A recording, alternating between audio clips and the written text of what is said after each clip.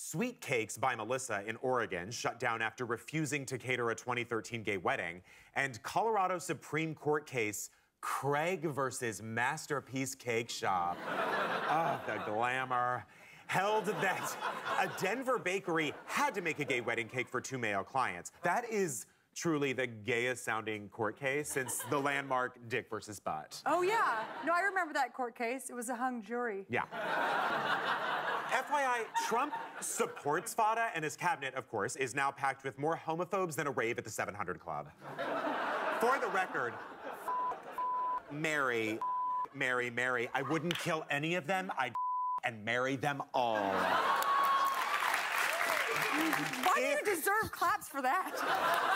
Because everyone is so impressed by my constant boner. it's actually a very serious problem. It sounds like it's not medically induced, it's a problem. I Yeah. know, but no one can tell. It's like a Burt's Bees chapstick.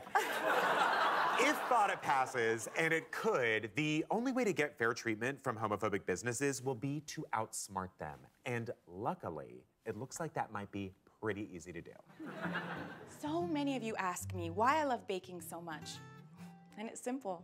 I believe that every event in life deserves to be celebrated. Whether it's a wedding between a man and a woman, or an anniversary between a man and a woman, or just a thoughtful I'm thinking of you from a man to a woman, or a woman to a man.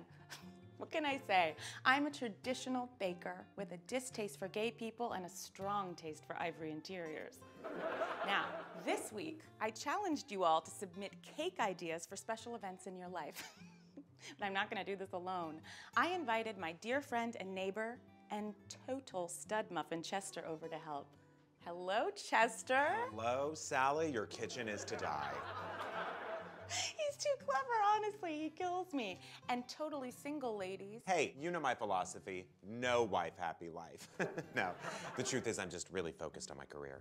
Chester was a semi professional ice dancer. But enough about Chester. Let's get to the cakes. Let's do it. Yes. Can you say graduation? Graduation. Now, the two brothers who submitted this cake, and I'm assuming they're adult brothers with a joint email address, they requested I bold the first letter of each word to accentuate their pride for the graduate. Congratulations. Ugh, Chester, will you look how inventive? Now, these two ladies who operate a local cemetery wanted a cake that looked like a pile of muffins with an Olympic diver figurine on top about to dive in. Now, I love anything non traditional except for people, so muffins seemed like fun. It's not my taste, but I guess if you're gonna dive into a muffin, it might as well be moist.